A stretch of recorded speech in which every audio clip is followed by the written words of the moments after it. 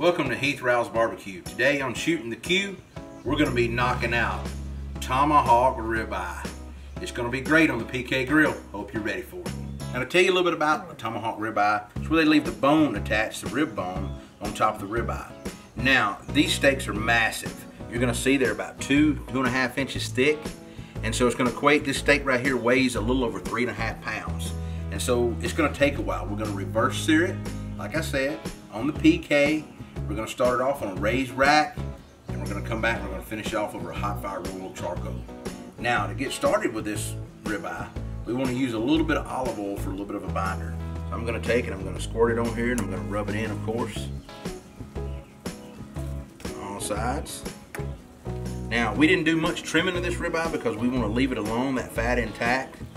It just helped with everything and we're gonna start off now, this garlic jalapeno rub happens to be salt, pepper, and garlic with a little bit of jalapeno powder in it. It's basic. It's got some onion powder in it, some other ingredients, but it's a great base layer for a little bit of heat on a steak.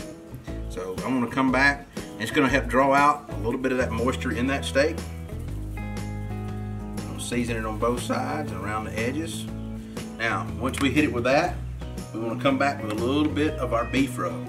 Now, this has got chili powder in it, paprika, all the things you'd expect, some pepper, some salt that you would expect from a good beef rub.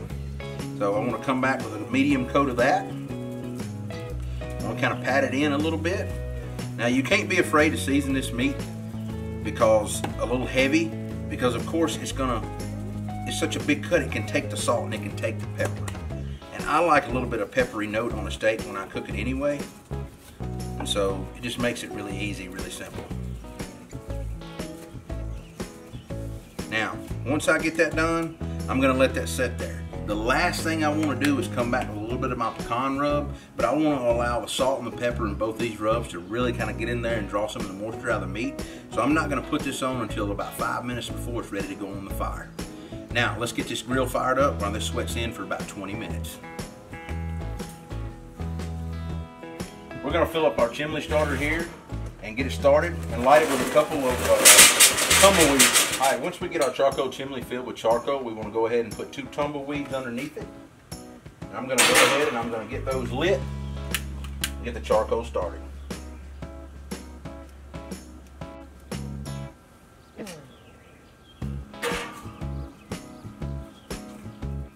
While the charcoal is getting lit in the chimney, we want to go ahead and we want to make a compound butter and go ahead and get it back in the fridge. I'm going to start with a stick of salted butter. And I'm gonna come back with a tablespoon and a half of my garlic butter rub. And I'm gonna come back with a tablespoon of minced garlic. If you want more garlic, you can always add more.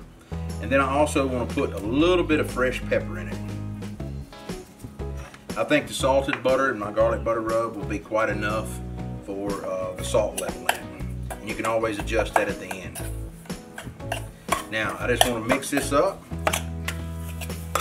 and then mold it back into a log and get it in the fridge where we can get some fats off of it. This is going to be a good, good butter blend on top of that steak that melt in. Hope y'all are ready for it. Now, not only can you use this butter blend on steak, you can use it on chicken, fish, seafood, anything you'd like. It's also great as a melting butter to come back and baste it on top of seafood on the grill. now we want to set our fire up for two zone grilling once we've got a chimney full of hot charcoal. I'm going to go ahead and get it dumped out. On one side of the grill. Whew. Now we've let this set here and sweat for about 20 minutes. We want to go ahead and get a little bit of pecan rub on it because we're getting ready to put it on the grill. All this is going to do is give it a little bit of color and it's going to give it a savory note with this pecan rub. Now, let's get this massive thing on the grill.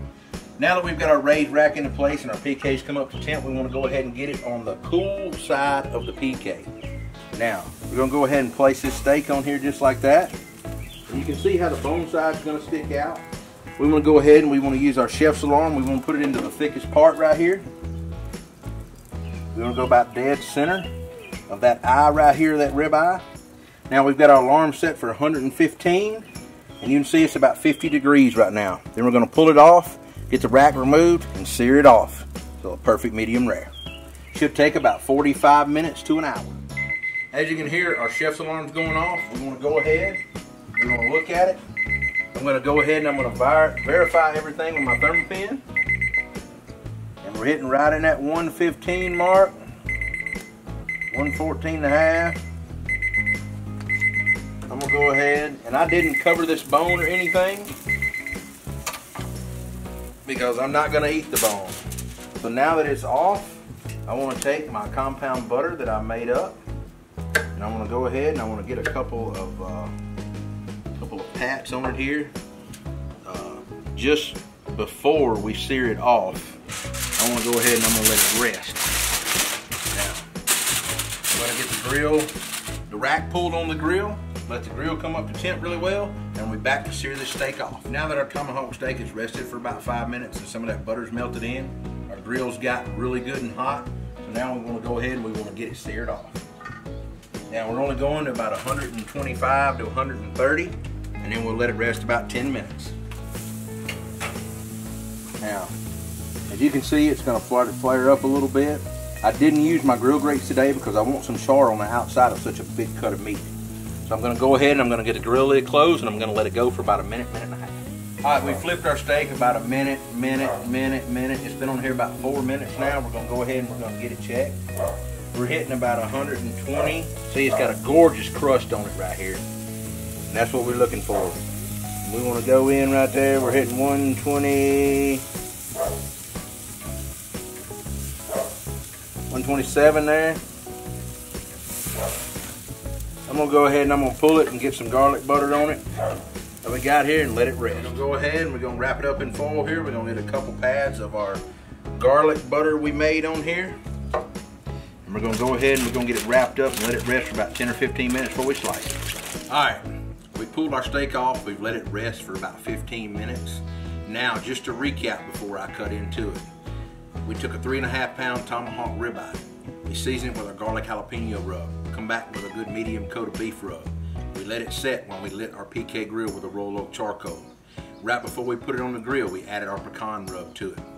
It was on the grill about 40 minutes. It got to 115 degrees. We pulled it off. We rested it a few minutes with a few pads of garlic butter on it that we made up of salted butter, a little bit of our garlic butter rub, and some more minced garlic, and a little bit of black pepper. Put that on there, let it rest for about 10 minutes. Got the fire hot. We seared our steak off for about eight minutes. It got up to 125 degrees. We pulled it off, let it rest, like I said, for 15 minutes. And now it's the moment of truth.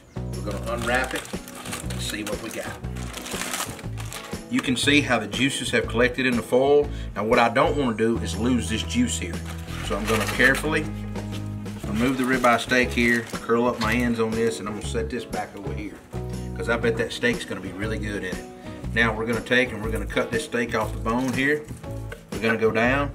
Now, we're gonna go in. We're gonna cut this steak open. Moment of truth. Look at that. Oh yeah. Come on up. Let's get a bite of this thing.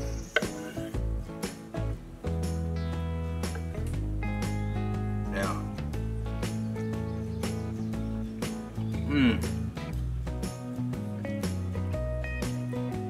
Now I know what'd be even better.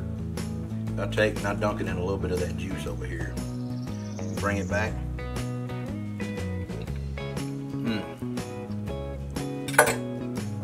Guys really have to try this recipe. It's packed with flavor and goodness, and if you love steak like I do, you're gonna love it. That compound butter is also great in mashed potatoes because we just made a pot of them now for dinner. Remember, if you like what you see, ring that bell, click that subscribe button. We'll be coming at you more, Shootin' the Que, what we like to call it.